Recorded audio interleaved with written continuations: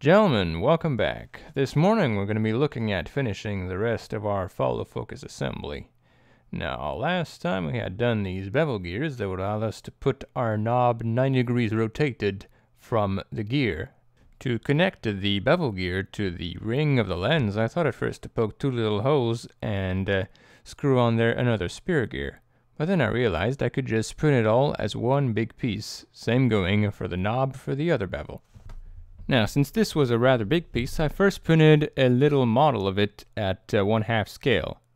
Now you can see that uh, despite uh, its small size, it's fully functional.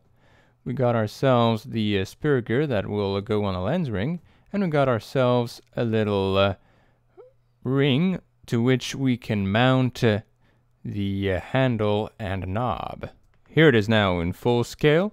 We got ourselves our two little caps, our big bevel gears, and our little holder.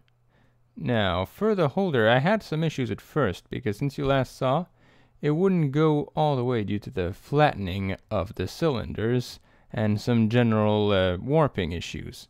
So, had to break out our beautiful little sanders. This was uh, the only thing lying around. It was actually the handiest despite its unfortunate color. And after a bit of sanding, we got ourselves smoothened little out shafts now, I did have to scrape out the back of the entry hole for the second gear in order for the cylinder to rotate smoothly all the way.